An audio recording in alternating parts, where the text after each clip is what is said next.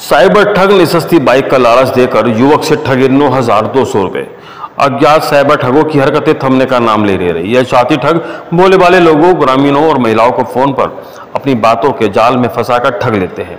Police में भी कई बार मामले दर्ज कराए गए, किंतु जानकारी व तकनीक के अभाव में ऐसे ठगों के विरुद्ध न कोई कार्रवाई हो सकी और न ही पकड़ में आ सके। आज भी कस्बे के भीतरबाड़ी मोहल्ला निवासी एक युवक को अज्ञात ठग ने मोबाइल फ़ोन पर सस्ती बाइक बेचने का लालच देकर अपने जाल में फंसा लिया और उससे दो बार में नौ हज़ार दो सौ रुपये ठग लिए। अब भी वह आठ हज़ार रुपये की डिमांड और कर रहा है। पीड़ित युवक साहिल कोहली, पुत्र केशव कोहली ने पुलिस कोतवाली में लिखित रिपोर्ट दर्ज कर इस अज्ञात साइबर ठग के विरुद्ध कार्रवाई करने में ठगी गई रकम को वापस दिलाने की मांग की है। इसकी मैं आज इस बयाना थाना में रिपोर्ट कराने आया हूँ। मेरा नाम साहिल कुमार है।